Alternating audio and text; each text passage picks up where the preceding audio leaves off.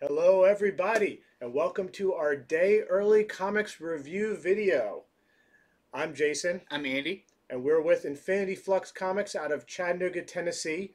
We get our comics a day early, so we bag and board them. We take a little break, we read all the big ones, and then we get to review them. We get to, Mhm. to talk comics every Tuesday, tell you what issues are good, which ones we like more, or less, what's going on in them. However, we do it in a sly, spoiler free way. Sly. Yeah, like we'll let you know as a first appearance. We may hint at a death, but we're not going to ruin the read for you. So that's how we do it here.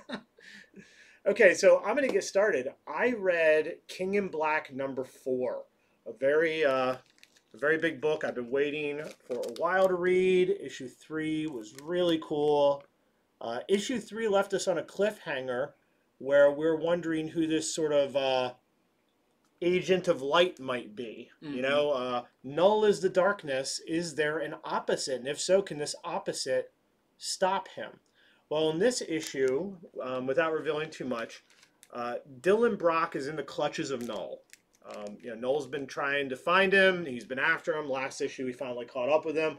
Well, he's got D- Dylan, but is it going to go well for him? You know, does Dylan have some tricks up his Mm. sleeve? We know he has a, uh, a a great power set that hasn't fully been revealed. And uh, let's just say, you know, the characters have been talking about weaponizing him. Spider Man's been like, hey, you don't have to do anything. Uh, you don't have to be a weapon. But at the same time, they just killed his dad. Yeah, so maybe kind of wants to be. Yeah, yeah. So you'll have to see what happens there, but it's definitely um, Dylan Brock against Knull. Uh, Knull has a lot of heroes still under his sway. There's a lot of nullified heroes right now. How can they be broken out? I mean, issue five is going to be the last battle. Um, so will it be all the forces of darkness and Knull and all the dark heroes, or will something happen to free them where the heroes will actually get to Yeah. take part.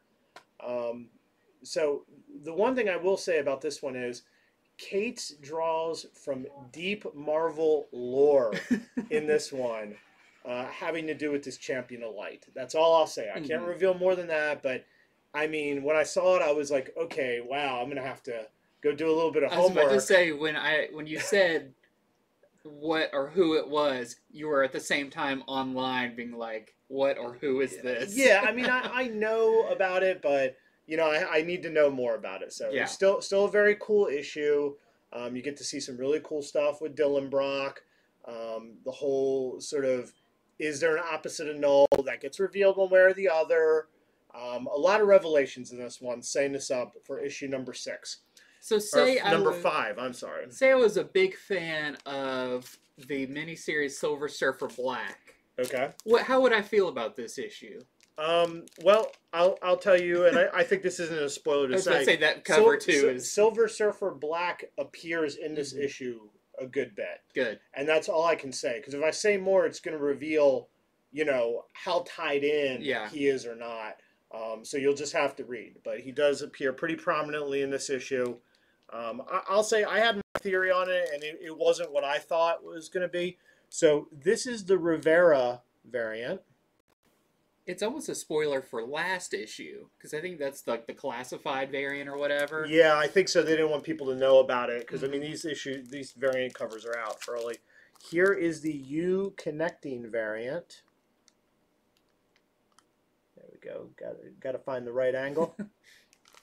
and then here is for the ambitious, the tattoo variant. The uh, pain intolerant. Yep. All, all Andy and I can say to you, uh, Venom and Knull and Donny Cates fans, is we dare you. Here's the tattoo. You know, you already got the design. Go right to your tattoo artist, slap down a thousand dollars. That's probably the down payment, and be like, get to work. I guess that goes on your back. I don't know, or it wraps around your arm. It's got to be somewhere with a lot of space. a lot of. It takes off a lot of space. So that's King in Black number four. Really looking forward to number five. Well, I'm gonna pick a, uh different book to start out with than usual. I'm gonna go straight for the more independent and talk about uh, TMNT Last Ronin number two. Yeah, Last It's Ronin. been a long, long journey to even getting to issue two. I believe this is a five issue miniseries. I think you're right. Who knows when this will actually end? Yeah. but I am so glad to say issue two did not disappoint. This is such a cool. Uh, it's great for old Turtles fans, new Turtles fans, or if you've never really read a Ninja Turtles book before, but you know in general the characters. This just has such a like. Dare I say, like Dark Knight Returns for the Ninja Turtles. Like I feel like it's going to be one of those definitive stories that you know we may go back to from time to time and and pick apart and, and talk about it um, That's a very neat comparison. yeah, it has it has a lot of those like you do find out in this like kind of how long it's been since our normal turtle the normal stories timeline. yeah um i still don't want to reveal who the the last ronin is in case because it's been really hard to get that issue one that. yeah, but I feel like people maybe just are finally being able to read it because it, it uh, first printing sold out, second printing sold out, Right. third printing we sold out of, but hopefully everyone who wanted it could get it. Yeah, we at had that a lot point. of those for a while. At least. Um, but to see this turtle at the place they are in um, is really neat. Uh, I will say not as much of the art is done by um, Kevin Eastman in this one, but there is a very solid chunk that is done by him. It's almost like where the the issue one, like the last few pages, are done by the um, like ongoing Turtles artist. This one I would say is the opposite, and most of this one's done by that artist, and uh, Eastman has a little bit, Hmm. but his little bit is the kind of history of how we got to this point. So it's a very vital part, and it feels like, especially with the size of the book, it feels like you're reading a original Turtles comic. It is black and white. It is not in color. It's just like gray tones and everything, and it is such like a cool feeling to read this classic Turtles story. Yeah, I mean that's why turtles have stood the test of time. I Mhm. mean, I remember when I was a real little kid and turtles came out, and people snickered about it. They're like, "Oh, this is so wacky. It's just a drop in the pan." But no, there's something. There was something awesome to those original comics. Yeah, Um, that has persevered all Yeah. the way to where they're still doing them. and I will say this is a very mature book. When there's violence in this, it is pretty. There's some some blood in that's, this. that's old school turtles. and it's old school turtles. It, Yeah. it definitely feels like the you know not the cartoon turtles. This is your they were trained ninjas. Um, but this one I'll say you'll find out more about what happened to April, to Casey, to Splinter, to the three other brothers. That I'll not name which ones are which, Mm.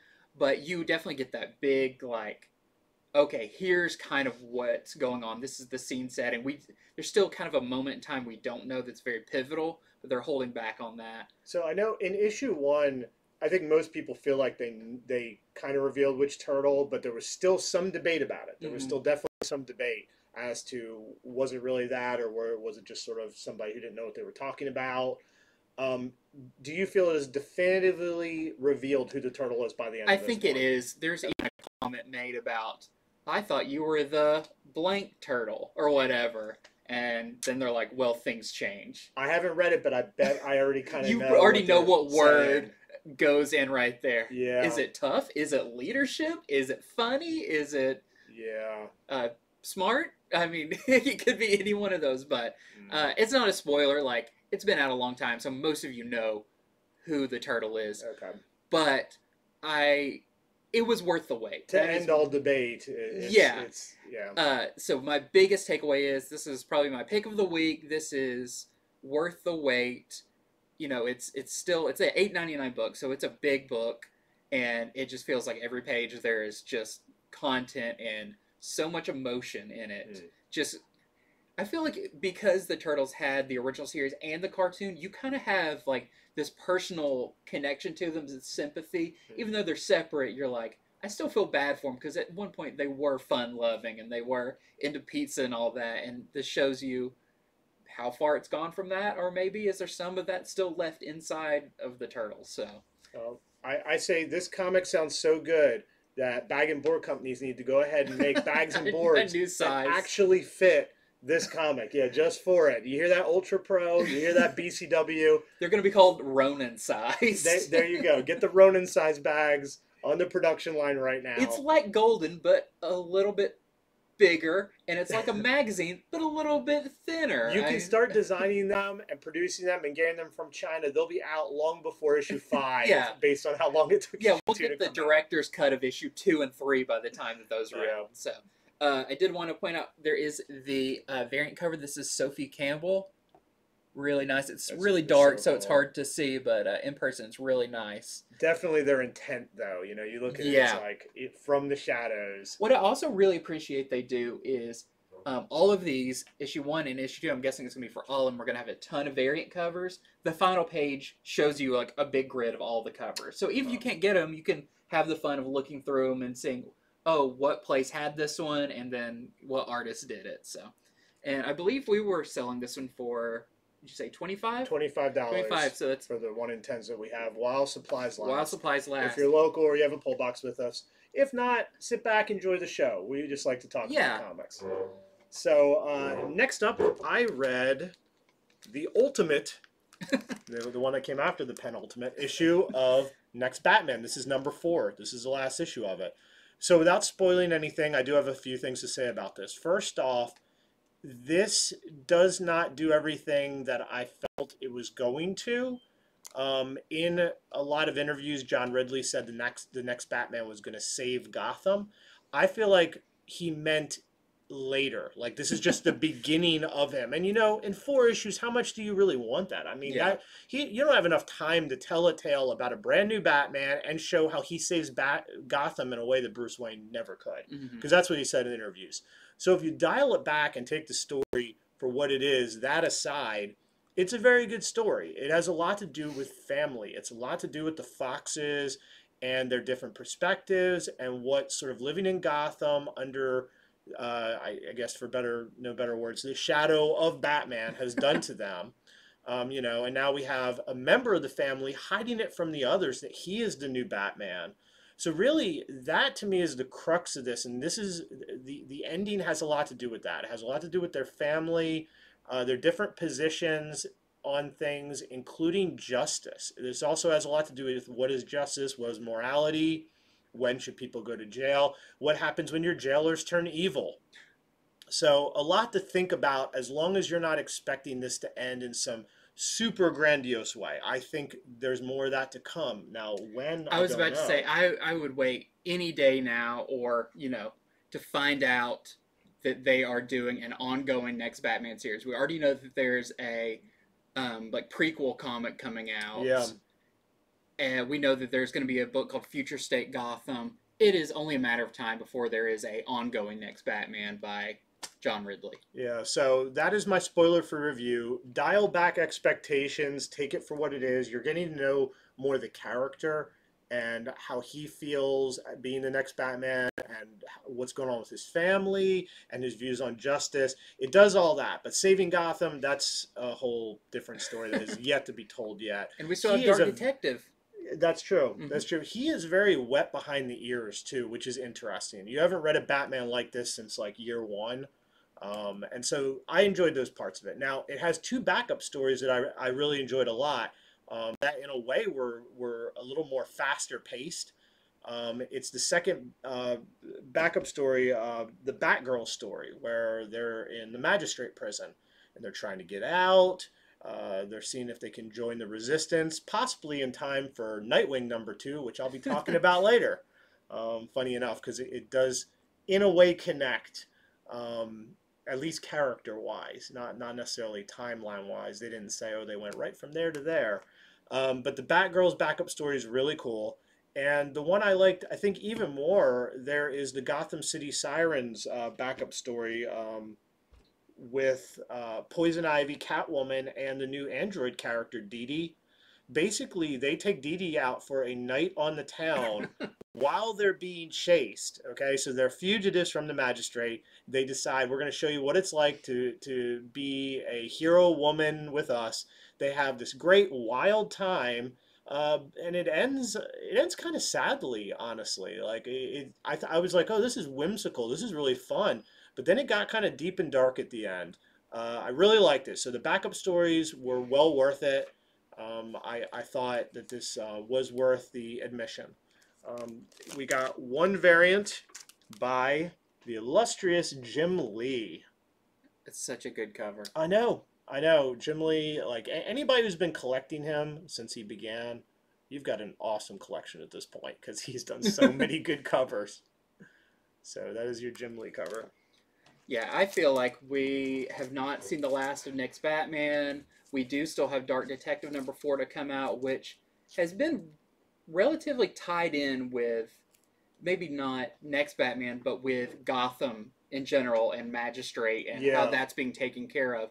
I you could maybe even see a like team up between Bruce and uh, Next Batman And Next in Batman. in it. Like who knows if this is going if that could actually be the like final fight in well, this Dark, story. Dark Detective is told five years after this, so I mean, I, I think with this we're seeing the Resistance building up, fighting the Uh-huh. Magistrate, and Batman sort of cutting his teeth. Next Batman, and I think five years from now, possibly in that last Dark Detective, we're going to see really the beginning of the end, like the fall of Yeah. the Magistrate.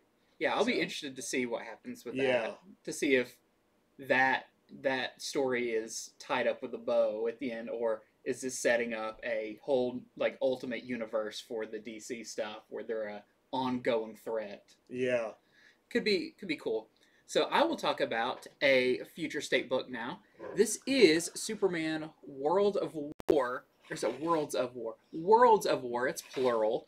Um, so I I was really quick to read this one because issue one uh, was definitely not what I expected. When you see the covers and you see Superman yeah. uh, in chains in his uh, He-Man kind of loincloth fighting in an arena. You're like, oh, this is going to be an all-out action, just slugfest. And it turns out most of issue one was uh, about a girl in Smallville learning Yeah. what Superman meant to people. Mhm. Um, and it kind of teased at the end, like, and now we'll see that big fight. Uh, I will say the big fight takes place, but still in the kind of spirit of how issue one was.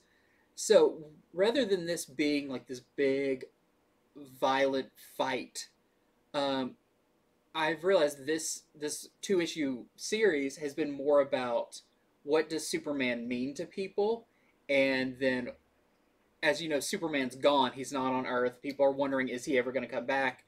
Did he die or whatever? This is kind of a big story about why Superman will would always come back to save people, Hmm. and that is told in a very interesting way um, through analogy and through um, you know kind of the the view of Clark Kent too. So really interesting story. You do see Superman fighting and why he's fighting in this arena and what does that mean to him. Um, but this one, I would say my favorite part of this issue was there is a couple of backup stories in it as well, and one of them is uh, Black Racer. Yeah, we that- have that- Mister Miracle The new Black Racer. and Black Racer, which completely took me off guard that I would like it as much as it did because it felt like such a not an afterthought, but like why is Black Racer out of like all of these characters, you know, who was originally a new god, who is some dude with with cosmic skis that chase people down because he was kind of like death. Like, why is this a story in here, and why does this character even need shelf space during this event? Um, and it turns out there's this new Black Racer. If you read the first one, you know um, she's a, a younger character who's now in the position of this Black Racer. And this second part is just really cool. The the kind of what a Black Racer does and what's it mean is way more action packed. Um, and I, I forgot which book we found out that that character is going to appear in, but that character is going to be in something after this. This is a new, whole new character, and really cool to see like maybe what their power sets are. yeah. And the story takes place on World War World. So while Superman is fighting in this arena, um, you can tell it's like being like broadcast. Well, she breaks into the room where they're broadcasting it, and it's just a bunch of aliens like sitting around computers, being like, "Cut to camera three, get a good shot of him." So it's it's also the main story, but from a different perspective too, which I thought was a really cool um, fleshing out of what's going on.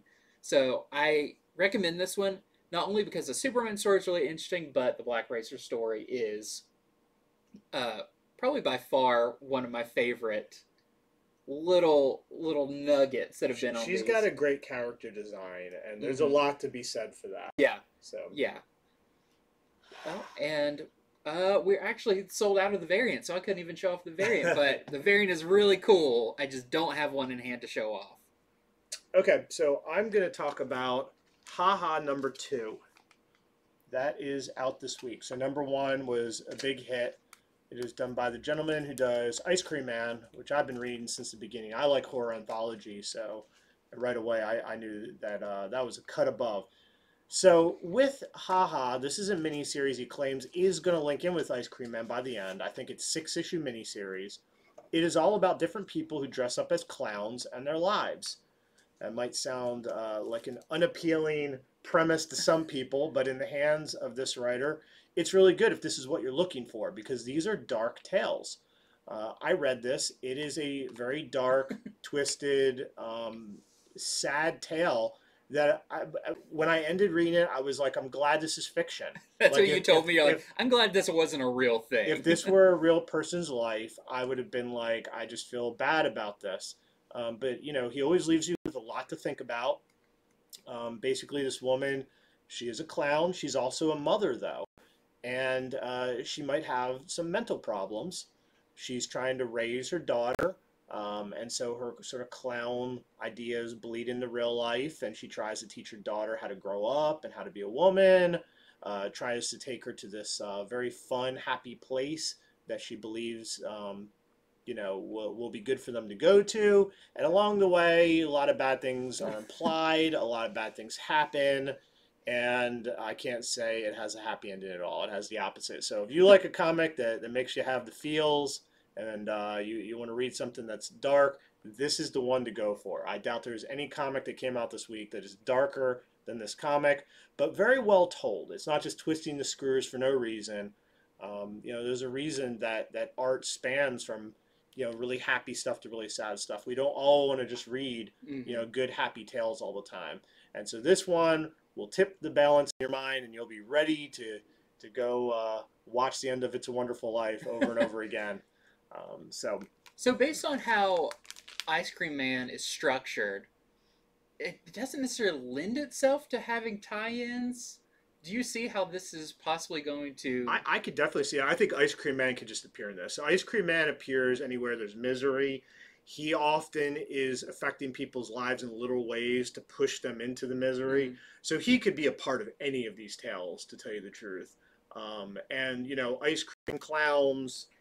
You know, Yeah, it's it's weird how it's like you would think well then he would appear in every issue because they're all separate stories, but uh, it'll be it'll be interesting to see in the last issue how they maybe give a nod to his involvement. Yeah, I mean, for those of you who read Ice Cream Man, you know, Ice Cream Man, he's got more of a of a mythos behind him than just, you know, I'm a crypt keeper.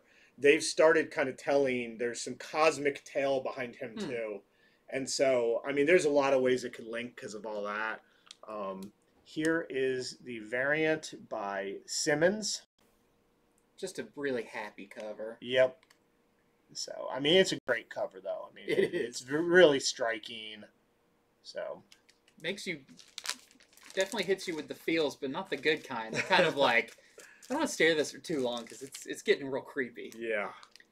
Okay, so next up, I will talk about a book that uh, was very, very interesting and is great for old school X Men fans. So this is X Men Legends, and this uh, the job of this series.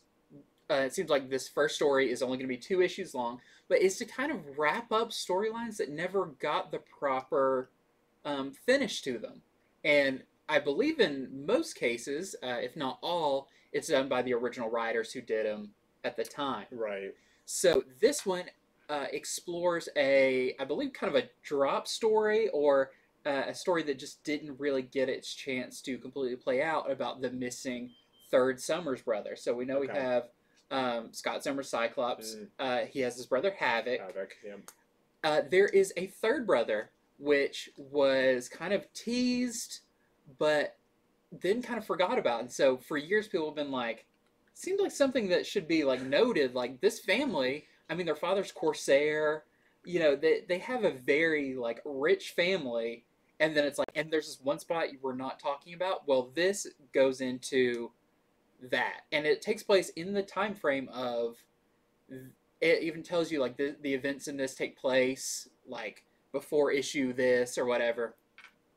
This is great if you have been a long time X Men reader or you've just recently, you know, gone back and read a bunch of um, like 90s X Men stories, because that's roughly when this takes place. This may be a little bit harder if you have not, uh, if you're not too familiar with the X Men of the time. So this mm. definitely takes place during a lot of like the Shi'ar stuff uh, with uh, Lilandra and kind of the Starjammers, that whole thing. Um, because we learned that the third Summers brother has a lot to do with the Shi'ar. And so I initially was having a little bit of trouble following what was going on until I got my footing. Once I did, once I was like, okay, this is before this happened, but after this happened, right. I know why the current um, X Men team is made up of these people. Um, you know, even you know Cable, who is a Summers. Uh, you know, his last name is Summers. He's got a very uh, messy history and future, but he does make an appearance, and so you're kind of like, okay, so this is like post cable being introduced, all this stuff.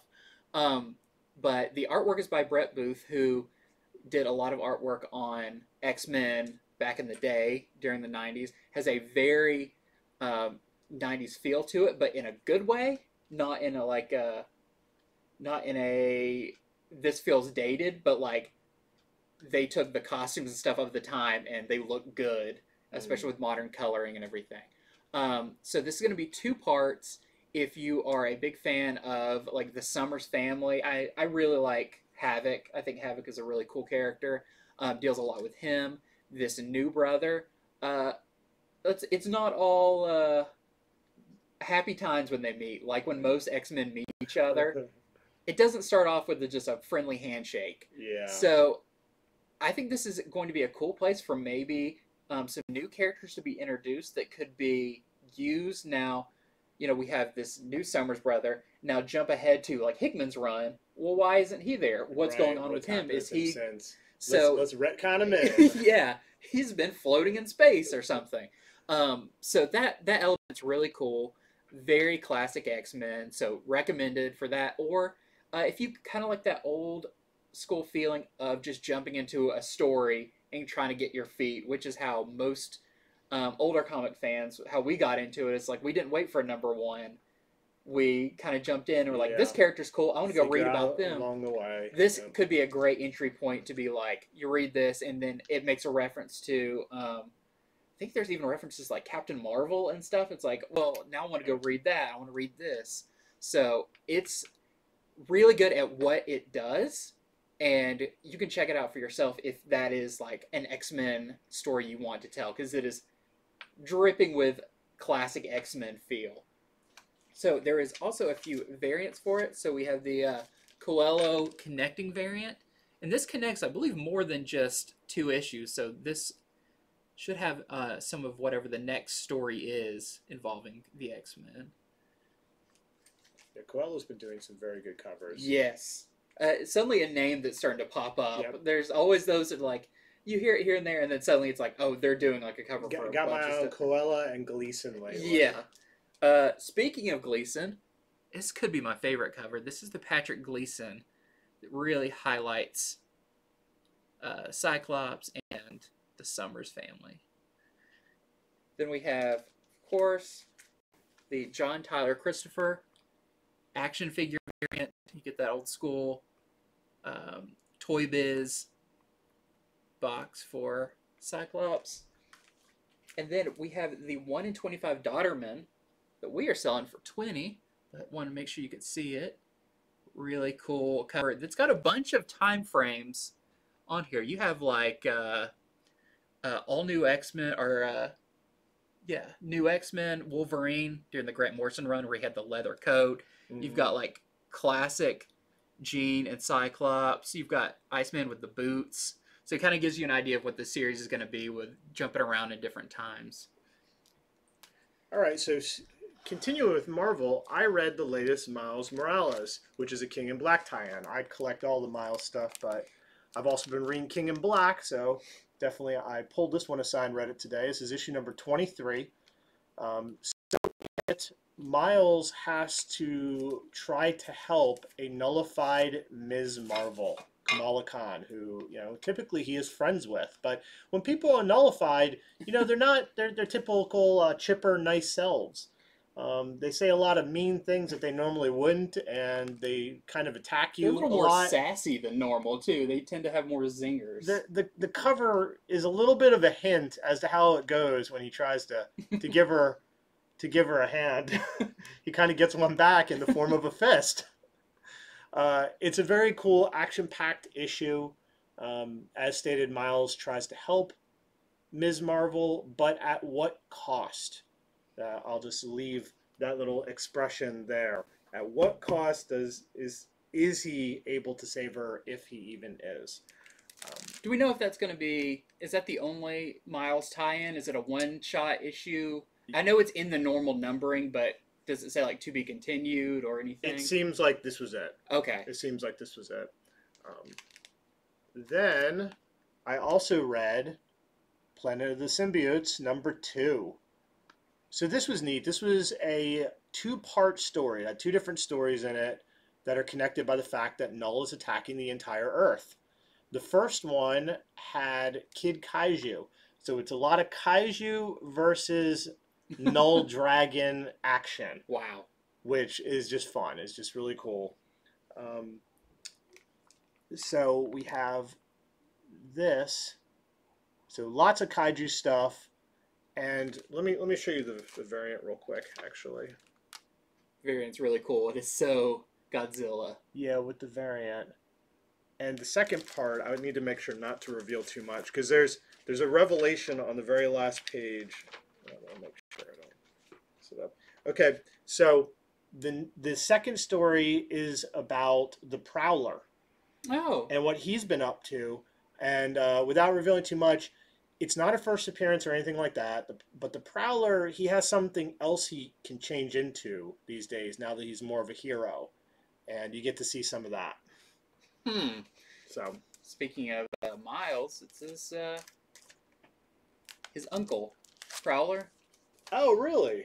Isn't Prowler? I didn't even realize that. Yeah, the purple masked Prowler. Yeah. Yeah, mhm. yeah, that's his uncle. At least in uh, the Ultimate Universe, he was. Interesting. Well, I had more had more links to the two comics I chose to put together than I knew. So next up, this is a book that I didn't know a whole lot about. I know this was a digital first, and now it was collected. This is uh, Truth and Justice. So from what I can gather, what ties these together, because there's gonna it's gonna be a mini series, and each issue follows different characters. It's almost like a Brave and the Bold, where you have a character that people are a little bit more familiar with, and then maybe some characters that people aren't as familiar with. Um, so this first one, the main hero of it is, of course, Vixen, who hasn't got a lot of uh, playtime recently, but is a really interesting character. Her power set, of course, is she can um, kind of mimic the powers of animals, very much like kind of what they've made Animal Man into but she can like call on different things so she can fly she can have you know major strength and everything um, and she's also like a supermodel at the same time. So in it she's like doing her uh, like photo shoot that she's not super excited about how they've uh, set it up and everything but when danger calls she goes into action as vixen. Um, this one has her teaming up with dr mist and impala. And those are characters i don't know. Maybe dr mist i've read something with him before but they're definitely characters i was not super familiar with and this really brought them out of like, oh, these are cool characters. I could really like see them being in other things. Got really cool costumes. Um, they fight uh, what is essentially kind of a uh, character with a god complex in the most superhero way possible, where they believe they're a god. Um, and it's just a one and done story. So it's really fun.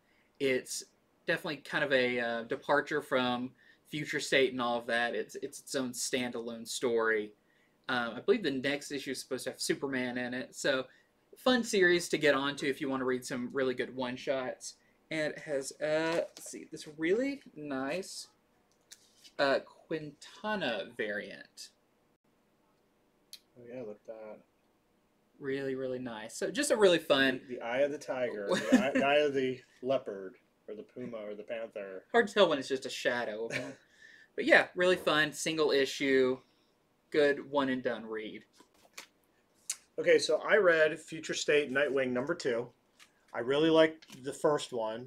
In the first one, the next Batman shows up at Nightwing's hideout, unannounced, to, you know, just be like, "Hey, guess who I am?" And uh, Nightwing shows him that you can't just do that, and you can't just show up and go, "Hi, I'm Batman. We should be friends." Uh, but by the end of the issue, the magistrate was coming through the door, so they they had to sort of learn to trust each other. This issue is their first team up. This is the first Mm. Dick Grayson, Nightwing teaming up with next Batman. Uh, I really enjoyed it for that. I, I knew issue one ended with that promise. Issue two came through, and you get to see a legit cool team up. You get to see them do different things, play off each other. Um, it is not your typical Batman and Robin, though. Does it feel more like peers or like you know they're closer to the same age? I wouldn't even say peers. I would almost say it's uh, instead of Batman and Robin, it's Robin and Batman. Oh, okay. So next Batman has some good moves, but Nightwing is far his superior. Also, have you ever considered if Nightwing would ever get his own, you know, Nightwing mobile? well, you may have to read this issue to see if he's ever done that. Hmm. Um, on top of that, the last thing I'll say is this links in in a way with the Batgirls story from next Batman number four. Because in Batgirls, they're all in the magistrate prison trying to break out. And let's just say every Gotham hero of the Resistance shows up by the end of this. Wow. And it's pretty cool to see like big, them all. big team up Correct. moment. Yeah. So uh, so that was the second Nightwing. I enjoyed this immensely. If you read the first one, you thought it was cool. This is a really good capstone to that two part series. And we have the variant, The very close up variant. yeah, by by Scott. Real cool. And Nightwing does use this uh, weapon quite prominently in this one. So So I'll talk about a future state book. This was probably my favorite future state book I read this week, and this is Catwoman, Future State Catwoman number two. So it's the final part of the Catwoman story. And last we left Catwoman, they are on a like a train heist. When you find out kind of what the uh, the payload on the train is, you realize it's pretty important. So this takes place pretty early on in the future state um, timeline where it takes place before Dark Detective. So at this point, everyone believes Batman is dead, uh, that Bruce Wayne Bruce is Wayne. dead. This explores what does Catwoman know about this? Because if this is following the, you know, the current timeline that fits a possible future of the current timeline, then you know their relationship is pretty far along mhm. and I'll say she she finds out in this issue, uh, one way or another if he's alive or dead. Whether she finds out the truth or not, that's another thing. But on this train uh, is some pretty high level magistrate people, and Catwoman also does her best to take them down too. It was really fun. It is a lot of action. I mean, it is your like speeding train uh, action movie where we've got to like take over this train one car at a time, and you know you're fighting ninjas and, and bad guys in each of the compartments, and uh, a there's li- little snow piercer. a little snow piercer, especially given the kind of dystopian feel of Gotham. But this is really fun. Catwoman leading her her team of strays, which are not a team of, of feral cats. Unfortunately, it's it's it's people, but uh, yeah, a really good character development for Catwoman and a really fun issue overall. Especially the ending really uh, settles some stuff about uh, when you're reading Dark Detective and some of the stuff that comes later. It gives you a good idea of um, how it all got to this and what the characters uh, know and what that means to them. So definitely with Bruce Wayne, I feel like in Dark Detective they may even allude to some of the stuff in this. Um, there is a really great variant. This is the Habichi variant. You get a good look at her cool new costume with all its magnetic bits to stick to trains. Really, really cool. Okay, so I read Hollow Heart number one. I mean, look at this cover. it just stands out so great. Although I have to say, if I were to put a quarter in a gumball machine, I would not want this head to come To roll out. exactly, look at me and judge that I'm uh, I'm spending my money in that way. This was a very weird issue. I mean, look at the cover, you're going to expect that. But this is sort of comic that makes me want to have a discussion with people who particularly like indie comics because this is not one for people who are on the fence. This is very deep set indie. Um, so I'll tell you the premise and then I'll tell you sort of how it's written. The premise is there is this person and they've just taken the person's guts and scooped it into this machine they're keeping alive. It's a gross term. They scooped his guts. Yeah, it's hard to find. he's he's human chum inside of a suit. But what I'll say about it is okay. So there's the premise, and right away, you know, some of you are going, I don't really want to, I don't want to read that, and others are going, that's interesting. It's something I haven't heard before. But in this first issue, you don't learn why. You don't really learn how. This is a slow burn. It's more here's a really weird setting. We're just going to put you in it. They've got this guy in this suit. They're working on him. He he doesn't want to be there. He has no freedom. It's more there are more lines from the person who repairs him than him. Hmm. Uh, it's a very weird slow burn tale that I suspect is going to be more about the characters than the actual setting at hand. But I'm Mhm. not sure. We're only one issue in. So if you like really weird indie, if you like stories where um, the, the plot, at least at first, takes a back seat to whatever um, the characters are thinking, to whatever they have going on, this might be for you. Um, it is, like I said, it's just a deeply indie work. Um, but if you don't want that, if you want a tale where right away, you know, if it, if it catches you, it clips along, I wouldn't say this is for you. Some really good covers, though.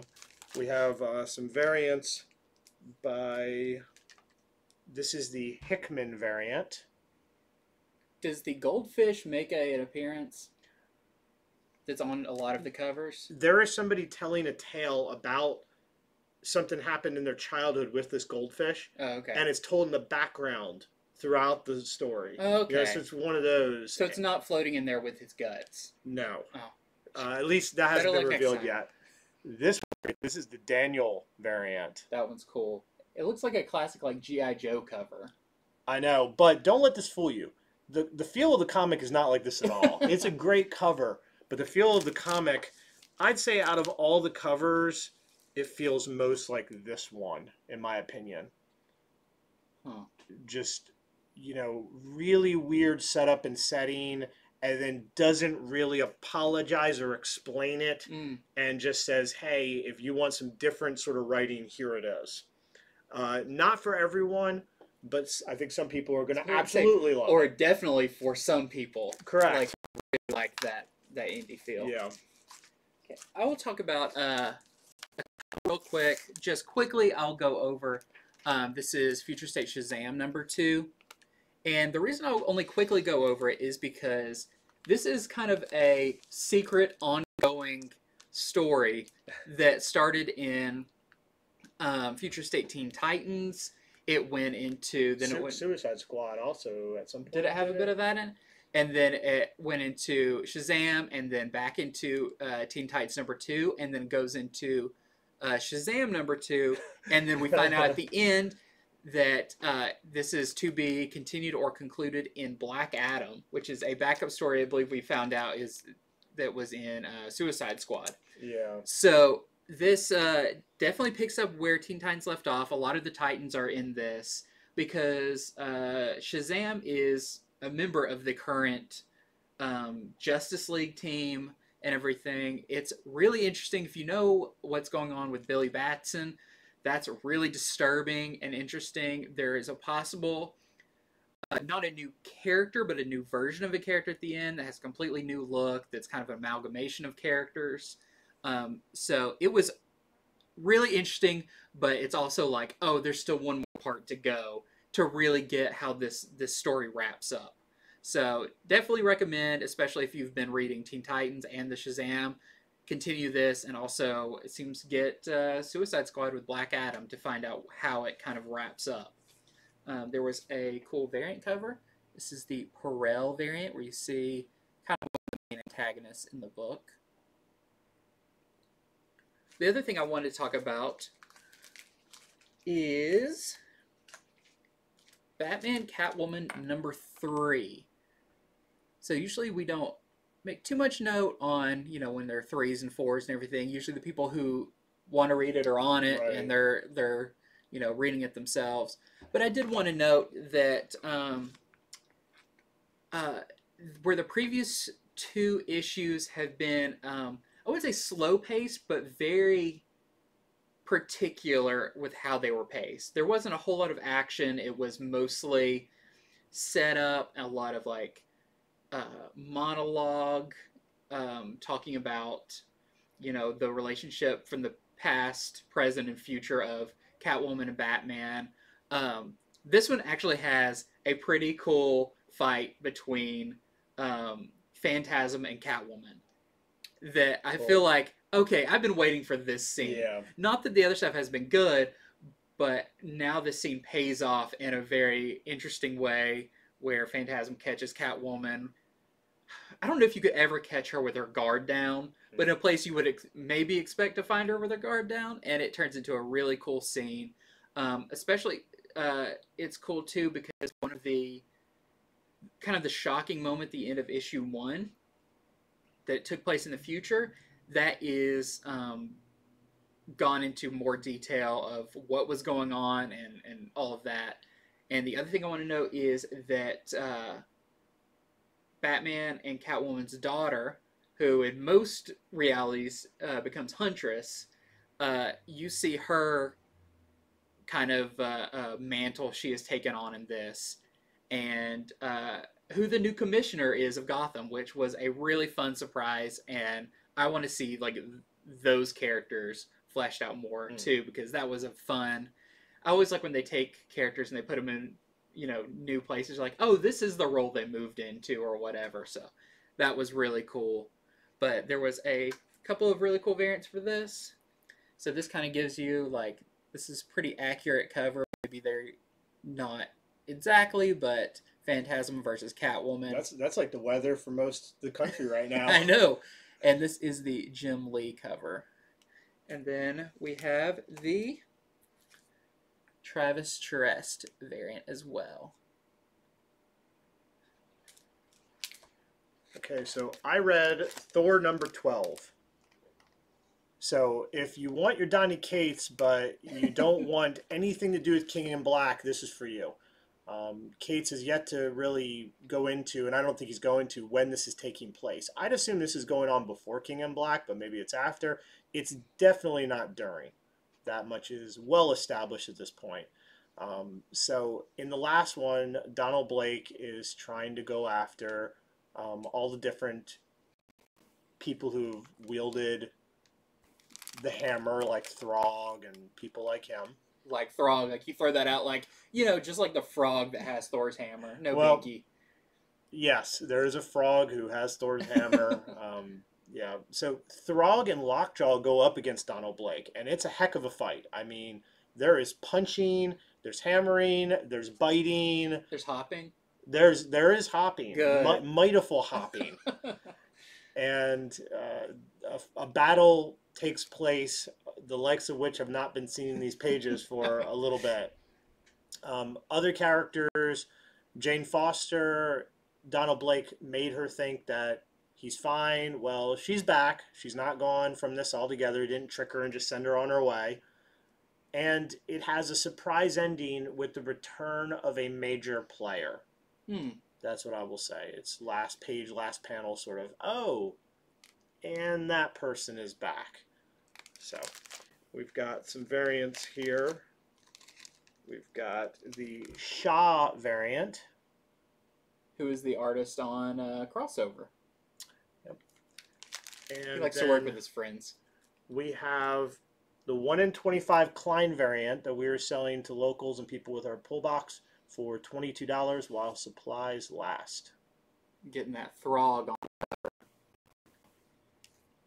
So with him and Lockjaw in it, it's a kind of a Pet Avengers reunion, Yeah. mhm. which is cool because Pet Avengers have a pretty big fan base. and they act like they know each other too. They're not Yeah. they're not at all like who are you or anything like that. You could tell they're fast friends. though. That's cool. That's what I want to see from my my frog and my big dog. Okay, so this one I will mention also briefly because uh, it is just a one shot, but this is Immortal Hulk flatline, and uh, I was also I, I skimmed through it. I haven't been completely caught up on Immortal Hulk, so it's been uh, it was a little confusing to kind of figure out where I was in it and everything. But they've been doing these one shots um, because they did announce issue 50 is the last issue of uh, Immortal Hulk.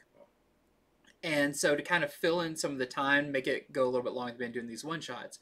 This one's by, uh, it's written and drawn by uh, Declan Shalvey.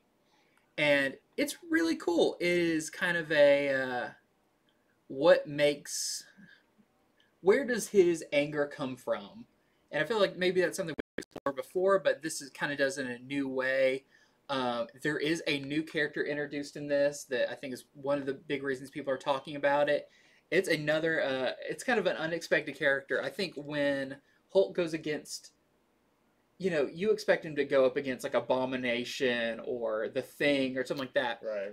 But when it's uh, maybe a little old lady that doesn't quite, uh, you're wondering how it matches up. Well, it's pretty cool how it all goes down. Uh, there is a definitive end to this issue as well. So, um, you know, character could come up somewhere else, maybe not.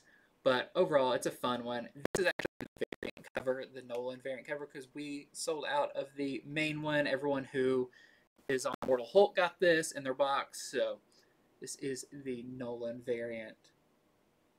Yep, and it's a fun uh, one-shot issue. A lot of people are really talking it up. So more future state. I read. We'll, we'll miss it when it's over because it's it's near an, o- an end. I mean, most of these are, are issue two of two. Yeah, these are the end of of most of them. So this is Immortal Wonder Woman number two, which is the the last issue of this. This issue has Wonder Woman at the end of time. She's just flying through space, pondering some things. She's headed to an old ally for certain reasons. They're going to have their last conversations. It's supposed to sort of be just the end of everything. And so as she ponders, she thinks about certain things that are really cool, including the last time she saw Superman. What happened to Superman is kind of revealed in this, and it's a little bit of what you'd expect. I, I'll say it's satisfying what you see. You know, it's sort of like when you have a hero this big, what what would be a fitting ending for them? So that was really cool. This also has a backup story with Nubia as Wonder Woman in a different time period. Mm-hmm. So that is with that. And here is the variant It's a great variant. yeah, by Becky Cloonan, and it does figure in with something that happens in it. They DC has taken Wonder Woman, who was already a major character, and they have blown her up to proportions that I, she may be sort of the most important overall cosmic character at this point Mhm. from what they've shown in Future State and what they're doing in her current series. Infinite Frontier, all that. Yeah. I mean, as a comic reader, we all know that DC Comics, first and foremost, is Batman. You know, n- nothing against Yeah. Superman and Superman fans. Superman is great. We're happy and all that. But as far as just flat out numbers, Mhm. DC is Batman. But Wonder Woman, oh man, they have really poured some some love into her character and They've given really her the powered her attention that she always deserved and explored her character in a way that's like, you know, she's she's part god and she's you know they've they've actually started to acknowledge, you know, those cosmic elements of her character. I mean, you know, in the first Immortal Wonder Woman, she's thinking, "Oh, Batman, that was so long ago," and now in this one, she's like, "Superman, yeah, I remember him." oh gosh, Yeah, like, so was, that wasn't more That, important. that's the feel I'm getting. Cool. Well, I'm out of the uh, this the normal reading books, but I want to show out probably one of the uh, top top pre-ordered uh, second printings, which is pretty big considering there's been a lot of big second printings. But this is Gwenom versus Carnage.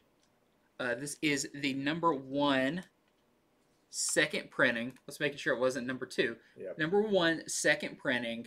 It's the uh, Mary Jane Carnage, and this one exploded because if you didn't know, number one had a variant cover, which was a one in fifty.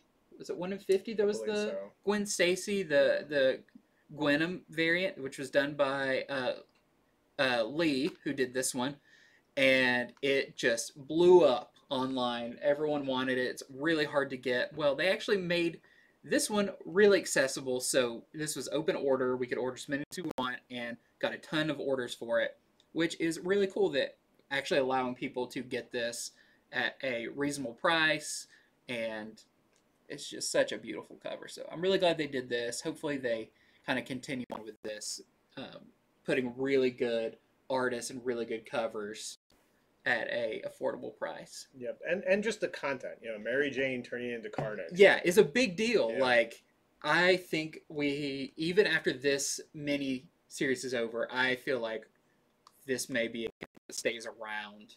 It's just too good of a setup. It's the perfect like right.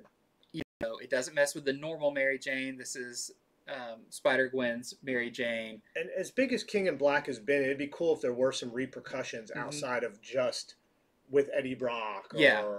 you know. Yeah, this would be a cool Dylan. element that goes off into another- into um, Ghost Spider's ongoing series or something like that. Mhm. Yep. So there are some variants I wanted to show off. This is the latest issue of Captain America. This is the Stormbreakers variant done by Patrick Gleason, a rising star. um, these were just one per store. Ours is uh, nobody's called for it yet, so it's twenty dollars to the first person who has a And subscription that's the with us. Stormbreakers variant. Yeah, mm, it's it's really cool too. Just Yeah. it's a great cover. And then the other variant I wanted to show, Abbott number two this week has a one per store variant. We're selling ours for twenty dollars. We just like to show off all the big covers that Mhm. everybody might want to look for out in the wild or at their stores or wherever they go. Cool. And I've got a few variants to show off as well. This uh, is for Black History Month. Marvel is doing some really cool covers by Souza. So we have the Miles Morales cover for the issue that you talked about a little bit Mhm. earlier. And I like that they made him unmasked too. I just think that's, you don't see that a lot on uh, Miles Morales covers. Then there is the Iron Man variant with War Machine. It's really nice. They also have very similar color schemes, kind of a warm background. And then probably the most popular one so far, maybe tied with Miles, is the Ironheart variant. And this is for Champions number four. A lot of big Ironheart fans. And the last one I have to go over today, Future State number one has been doing a lot of neat second print variants. A few of them have dropped today. This is the Green Lantern variant. With that John Stewart that is not a Green Lantern, but Yeah. former Green Lantern John Stewart. The rugged hero. And here is um, Robin Eternal. Robin Eternal number one second print. And lastly, we've got the Justice League second print with the new Flash, the, the multiverse Flash, that a lot of people are very interested in. This character, very mysterious, is what I'll say. Yeah. And, we know that they're going to go on and be in the ongoing Flash book when it comes back. They've already said that that's that It- they're going to be a character for that. in this Justice League book, he's a little bit of a jerk too, to tell you the truth. Hmm. Like, and I don't mean like he's mean, but he just has like an edge to him. So it's weird. So all those are also out this week. So is that it? That's it. Okay, so that is our Tuesday review show. We went over all the comics, all the major ones that we thought people would want to know about. There was still more, but we just went Always over a more. few of them. Yeah, always more. Mo- We, we go over the ones that we, we want to read and we think that most people are waiting to hear about. Mhm. Um, so thank you for tuning in. We also uh, we do we release this live on Facebook, but then we put it on YouTube right afterwards. So Mhm. if you watch on YouTube, thank you very much. Uh, we're at about 520 subscribers, so Yep. ever inching our way Ever to inching. that thousand mark. We're over halfway there. But we're So- appreciative of all those 520 that Yes. have come before. You are the base of our rising There, column. there, there you go. You found out early on about what we do here. Every Friday we le- release we release Release. Every Friday, we release a video called Comics from the Future where we go over the latest comics that are still open order. So, all these ones we talked about Mhm. three weeks ago, back when you could order as many as you want. Yep. We told you which ones we thought were sort of better and worse, what's going to be good about them. Some of the covers we show um, have just been released online. I mean, sometimes we put up covers that have just been released hours before our show. So, tune in Fridays for that. And I think that's it. We're just going to put up some order details for Mhm. anybody who is interested in a, uh, a local store. Um, or rather, we, we ship nationally. So I Yeah. guess we don't have to be your local store. Well, local local is a more personal term. Where That's what I your local I store, whether you're near or far. Th- there you go. So, but in any case, thank you for tuning in, and we hope you enjoyed the show. Yep. We'll see you next time when we've read another week's worth of comics. Another 70 books or Yeah. whatever. All right. Well, have a good day.